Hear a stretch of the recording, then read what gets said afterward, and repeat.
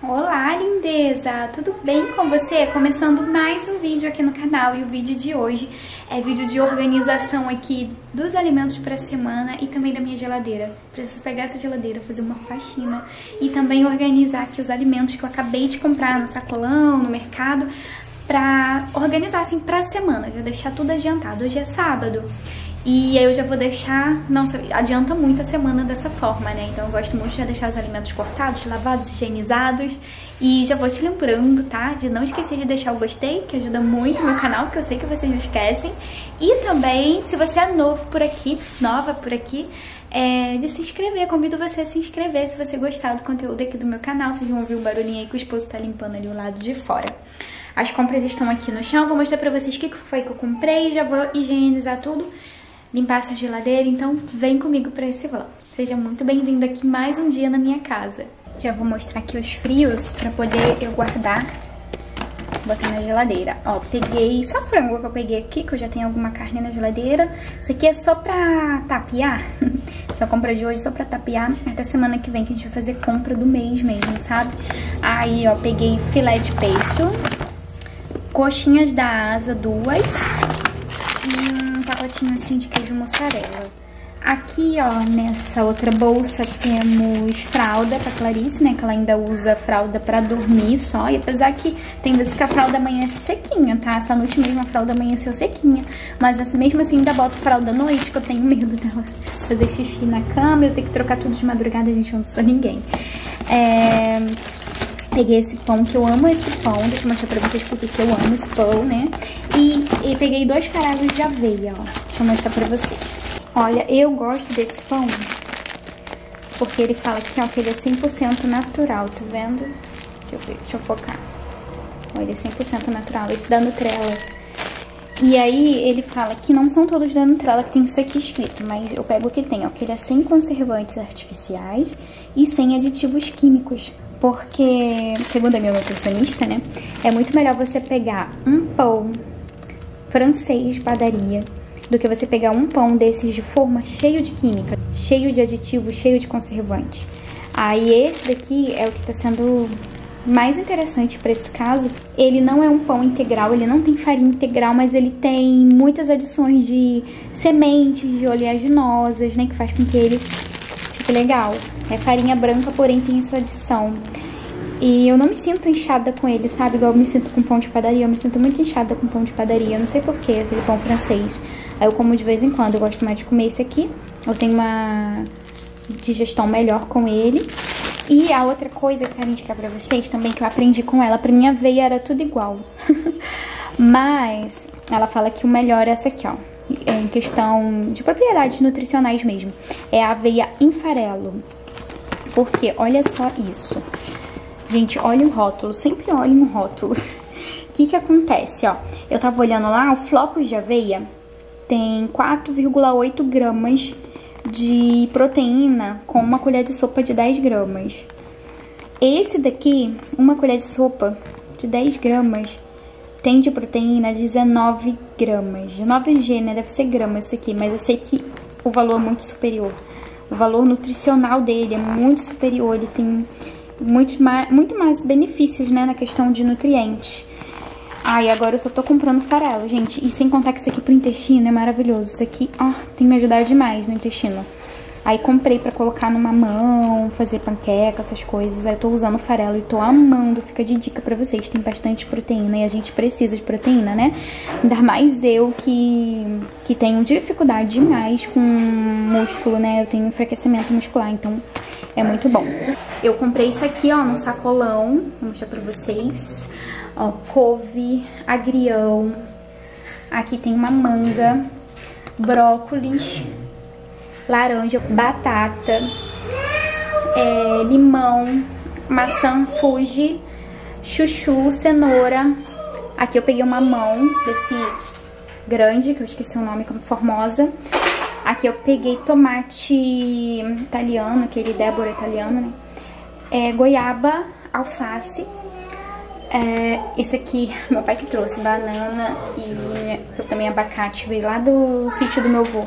E comprei esses potinhos aqui, ó, Eu amo esses potinhos pra organizar coisa na geladeira. Aí peguei esse aqui de 750 ml, veio 6. Foi acho que 12 reais. E esse aqui acho que foi 5 e pouco, 6 e pouco, 4 e pouco, algo assim. Vou deixar aparecendo pra vocês se eu achar o preço. É, esse aqui é maiorzinho, esse daqui é de 1 litro 270 ml. E ele é legal porque, olha, ele não tem BPA, ele pode ir ao freezer, pode ir ao micro-ondas, pode ir a lavar louça, pode entrar em contato com os alimentos, né, porque não solta substâncias. E aqui tem dois, ó. Já vou usar, já vou lavar eles agora pra cortar mamão, cortar as coisas, vou higienizar tudo isso aqui e já vou organizar a geladeira e fazer uma faxina na geladeira antes pra poder guardar. Vai, desce, desce do cavalo pra poder apertar o parafuso do outro lado, senão eu te derrubar. O Wellington tentando arrumar a prateleira que tá estragada. Quebrou. E a Clarice ajudando, né, filha? Ela sempre me ajuda. Eu ajudei lá em cima e aqui embaixo. que eu tenho. Coloquei já aqui algumas verduras, alguns legumes, algumas frutas de molho. E aí coloquei um temporizador ali na Alexa de 15 minutos. Aí eu já mostrei várias vezes pra vocês, né? Eu uso essa água sanitária aqui que pode ser usada pra higienizar. E aí tem que esperar 15 minutos pra enxaguar tudo. Enquanto isso eu vou pegar na geladeira.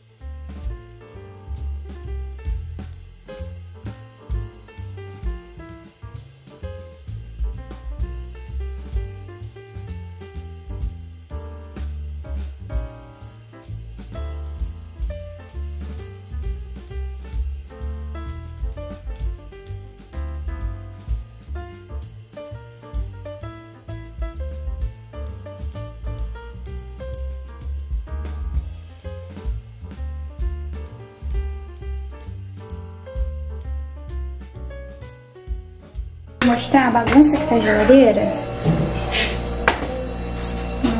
Tem coisas que tá aqui na, na pia. Olha na porta, gente. Tá muito bagunçada. E sujinha, viu?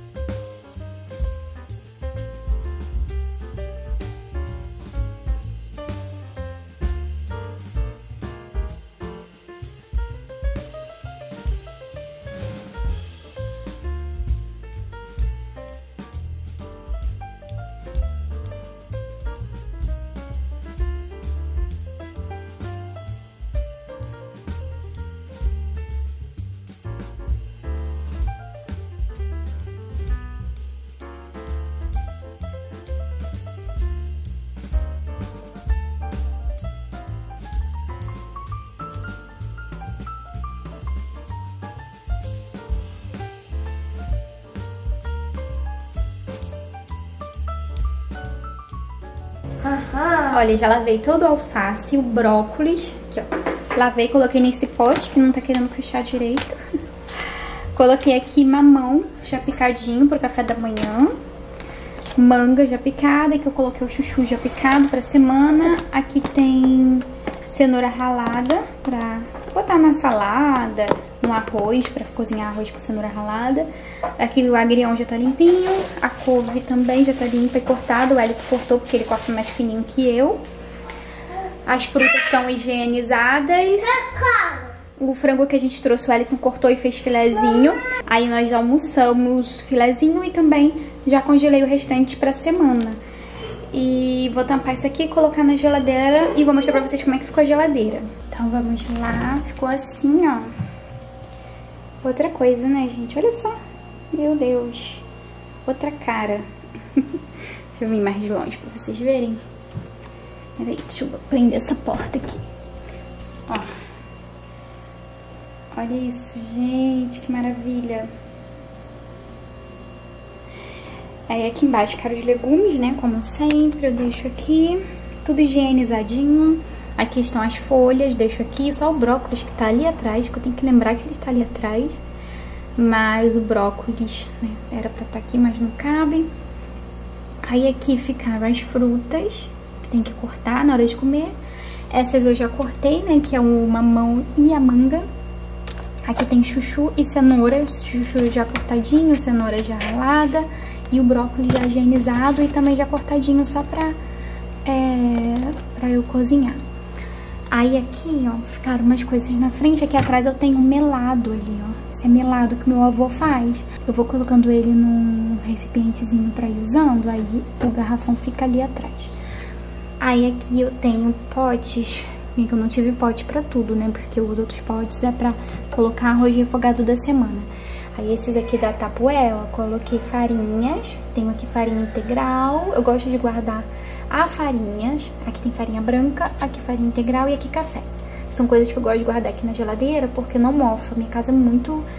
Onde eu moro, né? Muito abafado, quente e ao mesmo tempo úmido. Vai saber explicar, então as coisas mofam muito fácil. Então eu guardo na geladeira Aí não dá aqueles bolor, sabe? No, aqueles bolores no, na farinha de trigo e nem no café. Aqui eu tenho meu alho, que eu já deixo prontinho para uso, ó, triturado. Azeitona ali atrás. Aqui vai ficar os meus arroz refogados da semana, só tem um. Segunda-feira eu vou ter que refogar de novo. Ali tem um cebolão que fica com as cebolas dentro. E aqui é tudo de café da manhã, tudo que é de café da manhã tá aqui, ó. Tem o pão. Coloquei o pão nesse porta-pão, ó. Ficou bem bonitinho, né? Quase não uso porta-pão. Vou botar ele pra uso. Aí aqui tem torradinhas. Aqui é bolo. Aqui tem uma manteiga que eu não... Que ela tem porta... Eu tenho um porta-manteiga. Só que a manteiga derreteu, gente, e não saiu do, do papel. Aí a gente tá usando ela assim até acabar. Pra depois botar no meu porta-manteigas. Aqui é sementes e aqui, aqui tapioca. Ali atrás tem ricota, queijo, goiabada. Aqui na porta, vou botar os ovos que a gente comprou aqui. Tem os ovos restantes. Eu guardo na porta porque minha geladeira é pequena, não tem espaço pra botar aqui. Então eu acabo botando na porta. Mas quando eu trocar minha geladeira, aí eu pretendo guardar o ovo no recipiente, assim dentro da geladeira, sabe? Aqui ficou água e ketchup, essas coisas. Isso aqui é uma molho de tomate que sobrou do aniversário da Clarice, que a gente fez cachorro quente, eu não uso molho de tomate assim, né? Eu vou mostrar pra vocês como é que eu uso. É, não uso mais esses assim. Já até mostrei pra vocês a receita, né, quando eu fiz o molho de tomate. Ketchup, maionese, mostarda, essas coisas que a gente usa de vez em quando. Aqui são coisas que estão abertas. Eu não sei, gente, como é que eu guardo isso aqui? Que são embalagens abertas. Eu comprei esses pregadores bonitinhos, ó, pra colocar, pra ficar mais bonitinho, ó pregadorzinhos assim.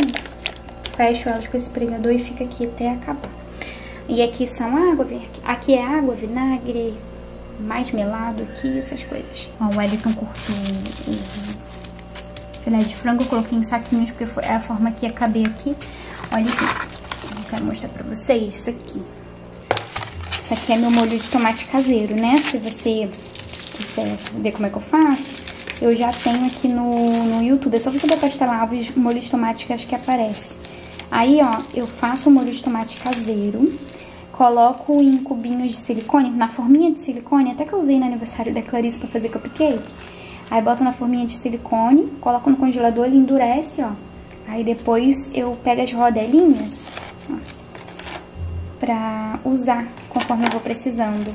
Aqui é porque eu cortei no meio, esse aqui, ó, pra usar só a metade. E aí eu vou usando.